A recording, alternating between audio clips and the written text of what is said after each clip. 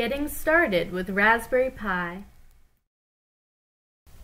In this video, I'm going to show you a few cameras you can use with your Raspberry Pi and how to set up a live stream. There's a few different types to consider when buying a camera, depending on what you want to use it for. There's the ordinary fixed focus, adjustable focus, and fisheye lens with adjustable focus, then there's the night vision version of fisheye, adjustable, and fixed focus cameras. The fixed focus camera is the simple solution for all your basic needs.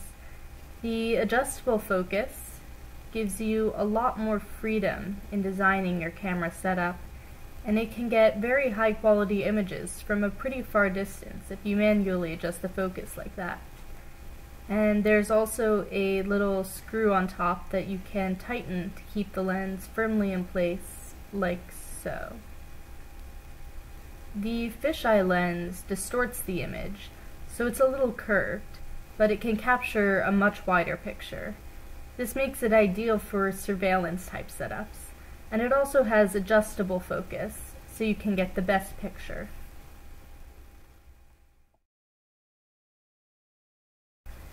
So today we're going to set up a little surveillance scenario.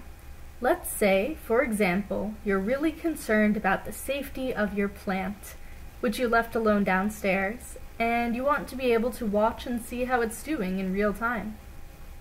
I'm using a very simple setup with just a Raspberry Pi board, a camera module, and a wireless network adapter for streaming over Wi-Fi. It's plugged into the wall for power at the moment, but it could also be powered by batteries if you want a totally wireless setup. The benefit of this setup is that it can keep running as long as no one turns off the Raspberry Pi, and it can be controlled remotely from wherever you're accessing the stream. The camera is also sitting on a pan tilt module at the moment, but that's nothing but a stand for the camera in this scenario.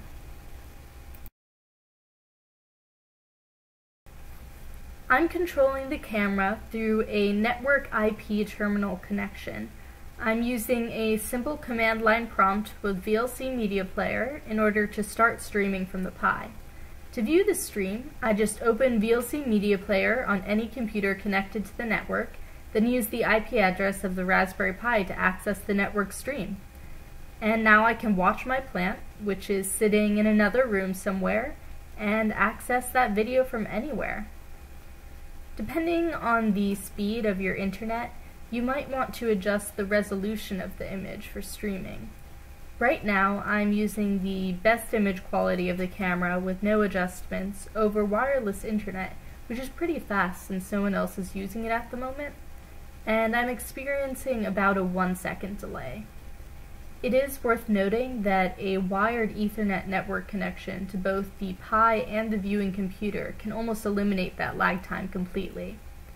That's definitely something to consider when designing a real security system for your home or work, but if you're just waiting to see if your neighbor remembered to come water the plant, lag time isn't your biggest issue. This video was captured using the adjustable focus lens, which I set up manually to focus on the plant. The camera was about 2 meters away from the plant, so you can see that this lens is pretty good for zooming. Now I'm going to show you a similar video using the fisheye lens.